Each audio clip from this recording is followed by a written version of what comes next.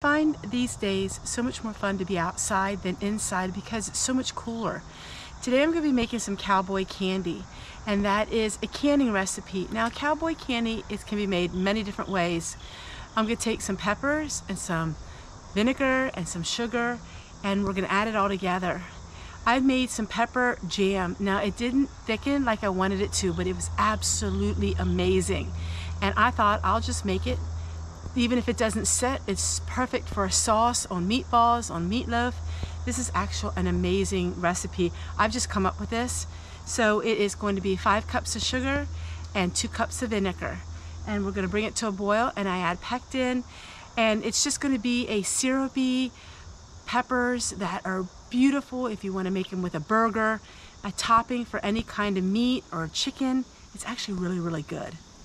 And it all came from me making the pepper jam and it didn't set right. So now I'm on to making this.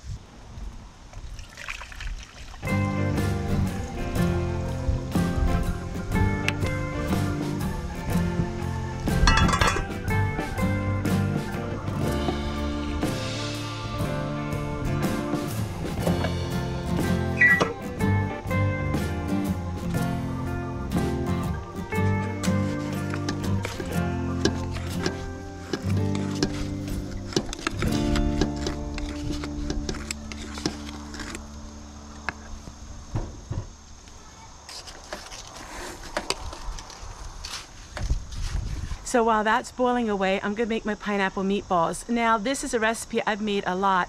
If you're interested in it, you can go and look up here. So it's breadcrumbs, pineapples, and it's ground beef.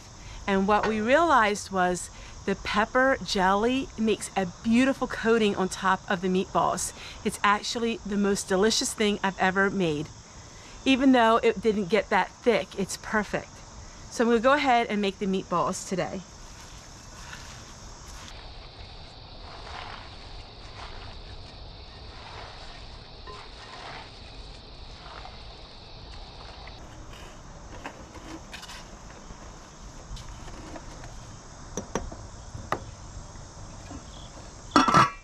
It's my homemade breadcrumbs that has some Parmesan cheese in them too.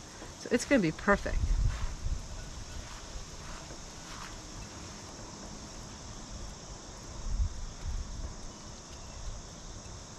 You could form this into you could form this into a meatloaf as well. But today I'm making them into meatballs.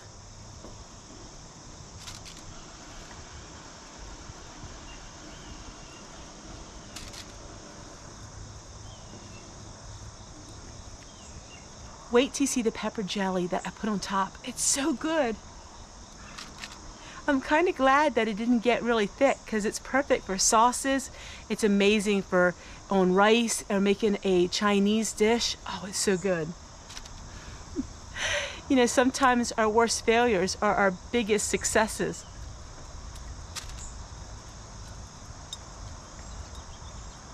If you're interested in the jam recipe, that'll be at the end of this video too.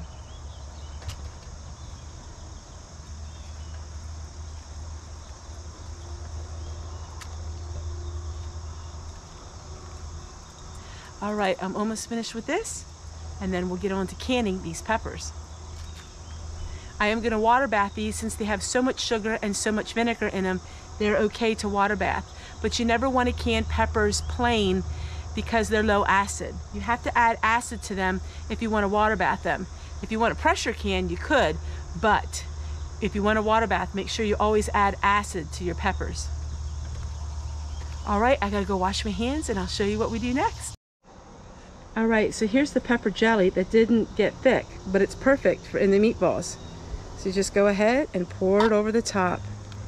It is amazing. Absolutely amazing. All right, I'm gonna go ahead and bake these and we'll work on the rest of my food.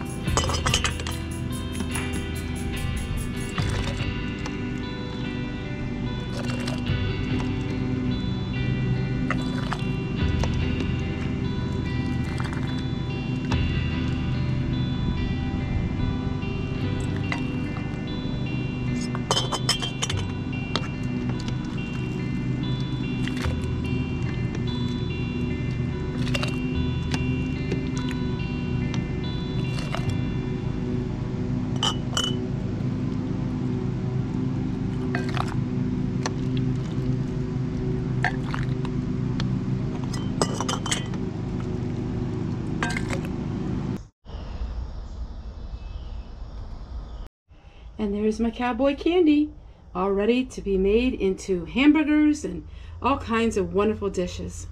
Here is our meal, sweet potatoes with pineapple meatballs and pepper jam on top. If you're interested in the meatball recipe, I'll share it at the end of this video and in the description box below.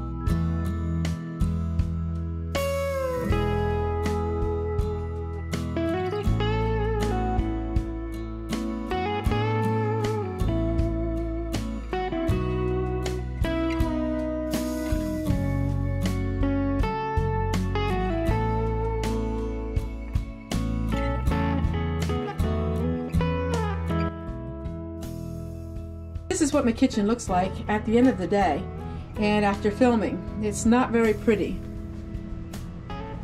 All of these jars were jars I made a video on canning and I made a video on processing chicken noodle soup. And all these jars here are going to be washed and cleaned. And that's one thing I love about mason jars. You can use them over and over again. But this is my kitchen. This is the end of the day for me. I do my filming first and then I clean up. All right, everyone, I gotta get working. In the magic of the camera, everything will be spotless.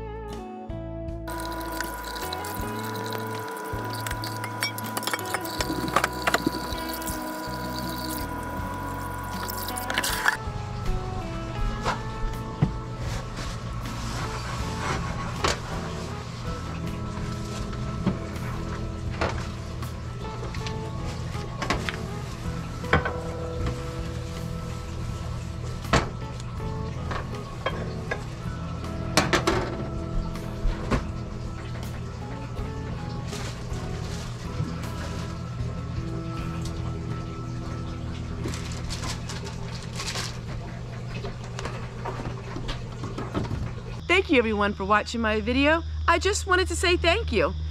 Thank you so much for being a part of my life and a part of my channel. And I can't wait to see you guys tomorrow.